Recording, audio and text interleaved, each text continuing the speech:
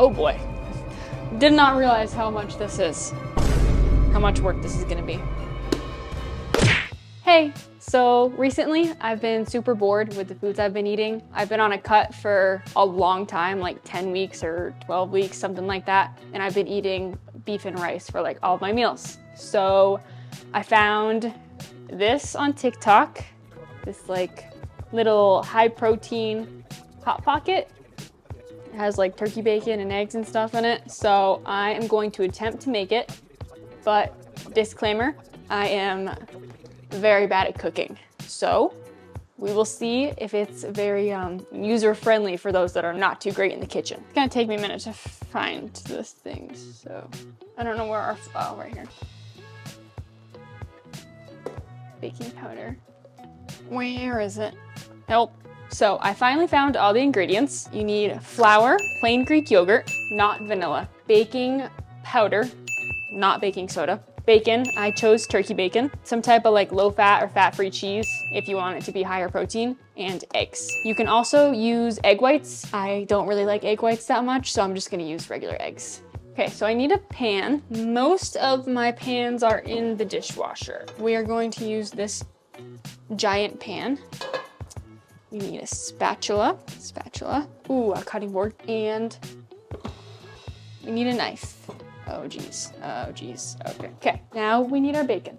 So in the video, he cuts the, how, what the heck? He cuts the bacon up really small. I don't know how to open this. There we go. Oh, it calls for 120 grams of bacon, which is like seven servings. I'm trying to see what this is. This has 18 servings that are about 20 grams each. Hmm. I didn't really do the math here. I'm just gonna use all of it. I'm gonna cut it in chunks so it's faster. Do not judge my cutting skills. I'm just gonna cut it like this. Oh, I probably should have cut these in half like the long way first. Too late. No. Too late now. I feel like I should have gotten a bowl. Paper towel. I honestly just don't want to dirty a bowl because I hate doing dishes. So I don't know why I did not think, I didn't think of this uh, a couple minutes ago, but I'm just gonna weigh out the bacon. For some reason, I was thinking I needed to do the math. So I'm gonna zero out this paper towel because that's what's under the bacon. I don't even know if it's gonna register as anything. Get it in the center. Okay, yeah, it's coming in at four, so zero it out. Okay. Now I'm gonna put the bacon on. It's more than 120 grams, shit. It's 180. Let's see, we're almost there. 126, 122. Okay, 120 grams. That's what that looks like. Oh, I should have preheated my pan. I'm gonna put this on like medium and then I might turn it up at the end because it says to make it crispy, but I don't wanna burn it. I'm gonna wait for this to get hot. So my pan is heated up, I think. So I'm gonna put this, yeah, put that in there. It's gonna take a couple minutes to cook. I believe that turkey bacon is pre-cooked. Does it say? It says it's cured. It's cooked. It is? Yeah. Okay, it's cooked. It's pre-cooked. So I'm gonna give some of this to my dogs because they would love it. There's probably like salt in this, so I'm not gonna give them a ton. Are you guys hungry? Do you want a little snack? Oh my goodness, it's so tasty. It's so tasty.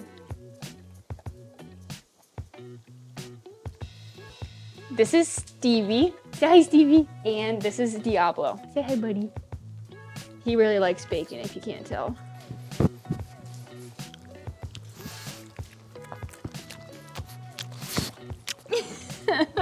While I was doing that, I was probably burning my bacon.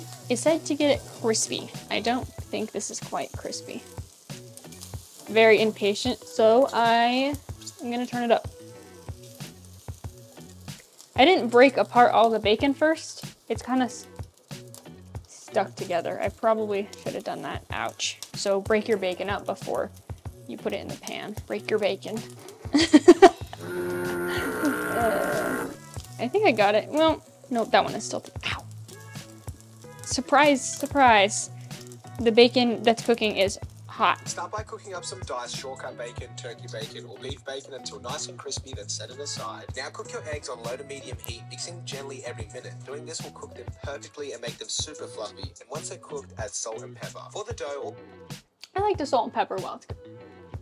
I don't know. so my bacon is crispy and you set it aside. Move on to the eggs. So I am going to be doing eight eggs, but if you want it to be a little bit lower calorie, my gosh, this is a big egg.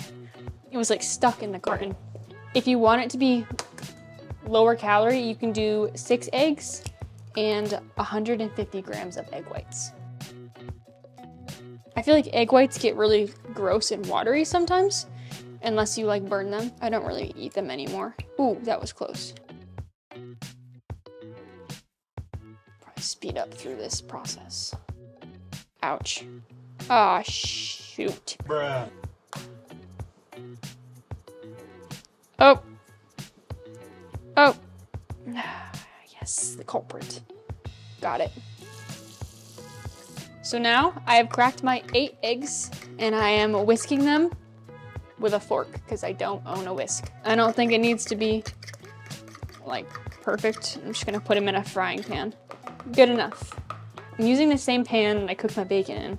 This is not calculated in the macros, but I don't want my eggs to stick.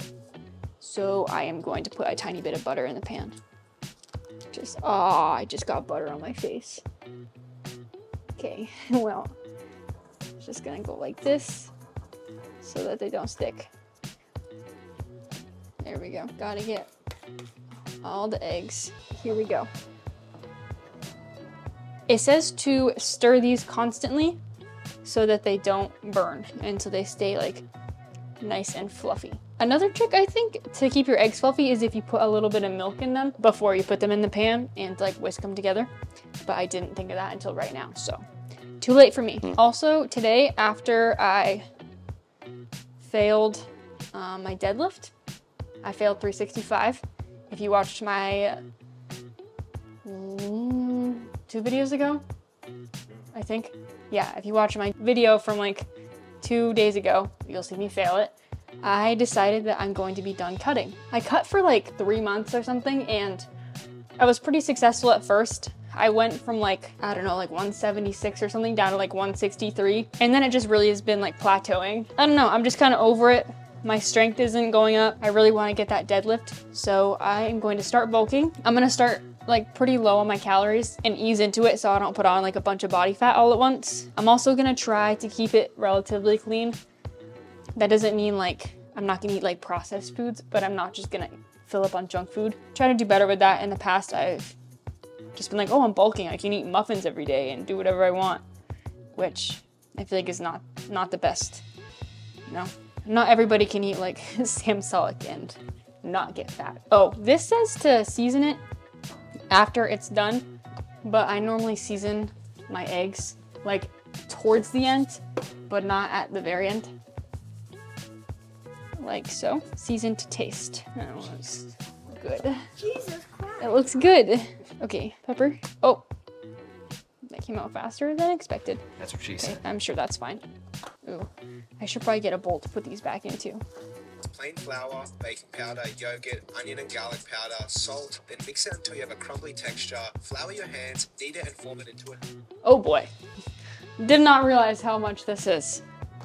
How much work this is gonna be. The eight equal balls, then flatten it as thin as possible. Add some low-fat cheese, bacon, egg, and chives. Then use your fingers to pinch the sides towards the middle and seal it. Then flip it over and press. Okay, so for the dough, you need 400 grams of flour. I zeroed out the bowl and I'm just gonna dump flour in. I have no idea how much that is like in cups. Wow, this is a lot of flour. We're at 200. You use 420 grams of the non-fat Greek yogurt. We're at 404, but it's fine. Yeah, you use 420 grams of the non-fat Greek yogurt, two teaspoons of baking powder. And then also, I did not mention this at the beginning, you need garlic powder and salt to season it.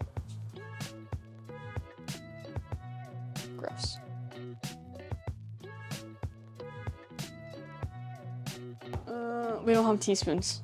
An eighth of a teaspoon is 0.6 grams, but I need two teaspoons, so like 10 grams. Yes, science. Okay, hopefully that's good. This is what the consistency is of the dough now. It's pretty thick and hard to stir. Now I need to oof, use my hands to like make it into a ball and I'm kind of dreading it. Uh, I did wash my hands. Ew. Oh, well, it's not that sticky. Okay, so making it, oh shoot, there's still flour in the bottom. Oh, gross. I am not a fan of this part. Oh, jeez. I feel like this needs more liquid. We're getting there. Okay, this is what we got. It's not perfect. I think probably a little bit less flour would be better, but I followed the instructions, so here we are. You gotta cut it into eight. You are watching a master at work. Next, you gotta roll it into like little balls. Oh, much easier to work with when it's smaller. And then you're gonna flatten it out. Well, this is what we're working with. They're a little bit stickier when they're smaller. This one is way bigger. That's what she said. Or he said. Oops, I feel like maybe that's good. Making them all like flat by hand was not was not cutting it, so I used a uh, can of beans because I don't have a roller. But um, definitely flour your countertop because they get sticky and use like some type of roller. Cheese is next. You're supposed to do 20 grams of cheese per Hot Pocket, but I am just going to eyeball it. This is um, fat-free cheese, so it's 45 calories a serving, and it has nine grams of protein and only two carbs, so it's not that bad. Put it in the middle so that you can, because you're gonna like wrap these. Um, these are not all even. I did not cut them very well, but it's fine. They will still taste pretty much the same. Next, you put your eggs in. Oh, I just flung egg. I'm just like chopping up my eggs a little bit.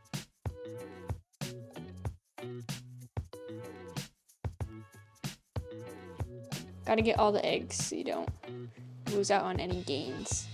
Okay, now time for bacon. It also says you can do chives, but I don't have chives. Oh shit, I'm gonna run out of bacon.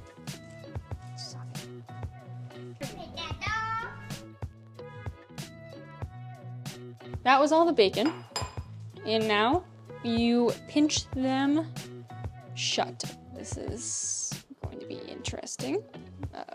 Uh-oh. Really gotta shove it in there, I guess. That's what she said. Just pinch it together. okay, that looks pretty good. Oh, it's a little thin right there. I think the pinching technique is what works the best. Like pinch the dough together. Five to six minutes. Okay. I don't see a bigger one. That's what she said. So this is what we ended up with. They're not beautiful, but I think that I think that it'll work. I really just like had to pinch the dough together on the top to get them to stay. So I got my pan over here between medium and low. I'm gonna put a little bit of butter on it again, just so these don't like stick. It's a non-stick pan, but still. Four at a time. I'm gonna cook the, the bad side first. Oh, and I'm also gonna try to do the biggest ones all together so that they cook evenly, but they're not really the same size. You put a cover on it, let it cook for five to six minutes on each side. I didn't preheat my pan enough, so I kind of turned it up to like a little bit above medium for the first side, but they got like a little bit dark and started to smell a little bit like they were gonna burn. So I turned it back down to almost on low uh, for the second side, but it looks like they're cooking pretty well. I cooked the first four. Okay, yeah, the other side's a little bit lighter because I turned it down. They look good. Well, ow. Okay, it's hot. Bruh. Fuck. Okay, got it. got it. Looks pretty good. I think they're pretty cooked all the way through. Cheese is all melted. You can see in there. Nice. Okay, so several minutes later, because I am a little baby with hot food, I'm gonna go for a taste test. Uh, in the video, I think he dips it in like hot sauce or something, but I'm just gonna, I'm gonna raw dog it.